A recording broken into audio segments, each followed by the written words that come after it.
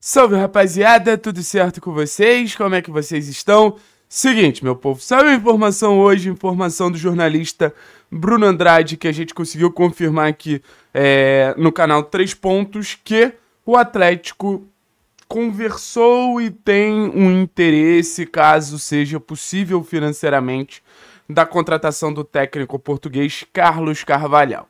Um nome que já foi vinculado a outros clubes, Corinthians, Flamengo, é, São Paulo, próprio Palmeiras, um nome que nos últimos anos teve um trabalho de muito destaque no Braga de Portugal. E a intenção de vir aqui nesse vídeo é a gente trocar uma ideia de como as ideias do Carlos Carvalhal naturalmente se encaixariam no elenco do Atlético. Posicionamento de jogadores, como ataca, como defende, para a gente entender melhor. Faz sentido a contratação do Carlos Carvalhal? Não faz sentido a contratação do Carlos Carvalhal? Eu já quero deixar minha opinião logo de início. Acho que o Atlético ele acerta muito tentando fugir do óbvio. Não sei se o Carlos Carvalhal vai ser o técnico do Atlético, porque a realidade financeira ela vai em algum momento ter um choque ali a pedida do Carlos Carvalhal é consideravelmente maior do que a pedida que, que o Cuca fez e quanto o Cuca ganhava, que já era o maior salário da história do Clube Atlético Paranaense. Então tem todo porém, mas acho interessante sair do óbvio. E eu acho interessante a gente ter uma ideia que é o Atlético ele está indo para um caminho de um treinador de jogo posicional de um treinador que vai tentar ter a bola, de um treinador que vai tentar ter protagonismo do jogo a partir do controle dele. E se você for parar para pensar, ah, Thiago, mas o Atlético não tem o melhor elenco do Brasil para tentar ter a bola, o Atlético não tem o melhor elenco do Brasil para tentar ter controle do jogo. Você está certo no seu pensamento, mas é importante lembrar que a partir dessa ideia de jogo que o Carlos Carvalhal teve o seu grande trabalho no Braga que está longe de ser o maior clube de Portugal. Então, mesmo num cenário de mais limitações, o Carlos Carvalhal conseguiu trazer essa ideia mais fiel ao que ele acredita do jogo. Isso acabou potencializando e muito aquela equipe do Braga. Seguinte, rapaziada, vamos lá trocar uma ideia sobre o time. E eu quero começar falando sobre como o Atlético naturalmente se defenderia. Não tem muito mistério, não tem muita inovação, tá? Duas linhas de quatro. Thiago Heleno, Kaique Rocha, Canob, Coelho, voltando aqui, Zapelli e Maestrani. Eu botei um suposto time titular, o time que eu acredito que seja o, o, o ideal hoje na minha cabeça. Duas linhas de quatro. O grande ponto é, é um time com uma pressão muito forte no portador da bola. O Braga tentava a todo momento sufocar o jogador adversário que tinha bola. Então, sei lá, Matheus Pereira, do Cruzeiro, pega a bola aqui.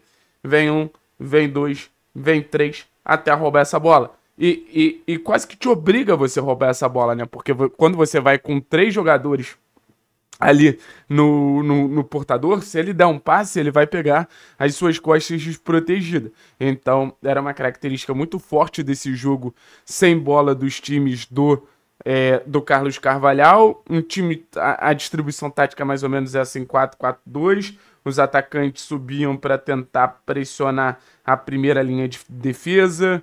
A partir do momento que o time ia conseguindo empurrar o time adversário para trás na base da pressão, o time ia subindo. Os volantes muito importantes para encaixar a pressão nos volantes adversários em muitos momentos, sabe? Então, assim, um time que, que, que tem na pressão a sua principal arma defensiva. Uma marcação muito intensa, uma marcação que exige muito pela, pela parte física dos seus jogadores. Então, assim, o, o, o trabalho do Carlos Carvalhal no Braga, pelo menos, trouxe isso como base. Agora, como o time ataca, não tem muito mistério também. Algo muito parecido com o que a gente viu no confronto contra o São Paulo. Saída de três, Thiago Heleno, Kaique Rocha e Lucas Esquivel.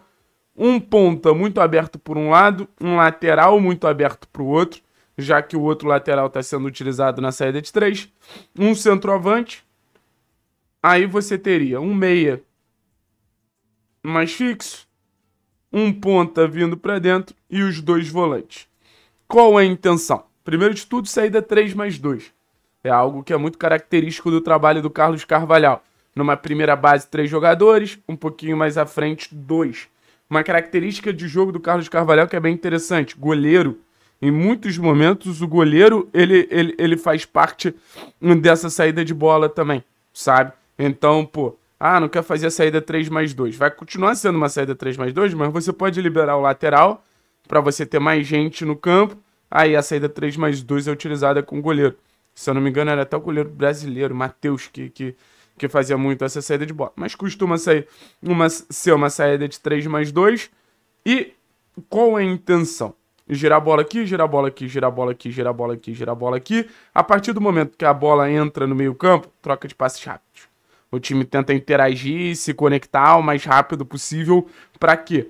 Para ter a posse de bola, mas para ter também um ritmo de circulação de bola um pouco mais acelerado. A bola chega aqui em Fernandinho, Eric, Canobis, a pele, mas a intenção é estar tá sempre acelerando com os pontas principalmente. Então, assim, é um jogo que em alguns momentos pode até ser mais cadenciado, mas é sempre a cadência pensando em acelerar, cadência pensando em acelerar, cadência pensando em, em, em, em, acelerar o jogo, muita movimentação, algo que o time costuma fazer também é baixar para atrair o adversário para atacar o espaço, ou seja, usar essa armadilha. O centroavante sendo uma peça muito importante para o pivô a partir do momento que você tem ali uma troca de passes mais rápida, uma circulação de bola mais rápida. Você consegue acelerar essa bola em profundidade, então não é um time lento, é um time que sempre é estimulado a, a, a ser agressivo, a estar tá atacando espaço. Um time que, que, que, pelo que eu pude perceber, tem nesse primeiro volante uma peça muito importante para essa saída de pressão, já que a ideia é fazer a bola chegar mais rápido nessa zona de meio campo. O volante é muito importante para toca, passa, toca, passa, movimenta a bola, atrai alguns outros jogadores, faz com que a, a saída de bola seja uma saída dinâmica. O camisa 10 é muito importante para flutuar entre linha, porque a partir do momento que a bola chega no, nos volantes rápido, a intenção é fazer essa bola chegar entre linhas, sabe? Então acho que o Zapelli teria também um papel muito importante ali na construção da equipe. É mais ou menos isso que eu trago para vocês. Ah, Thiago, mas e se o Carlos Carvalhal não aceitar a proposta do Atlético? Por que você está fazendo esse vídeo? Cara, eu estou fazendo esse vídeo para a gente entender também, não só o que o Carlos Carvalhal ele pode contribuir, mas o perfil de técnico que o Atlético quer. O perfil de técnico que o Atlético quer parece ser bem diferente do que, por exemplo, era o Cuca, era o Turra, era o Filipão. Nas devidas proporções, o Atlético está procurando muito mais um jogo que a gente teve na sua maioria junto ao Wesley Carvalho.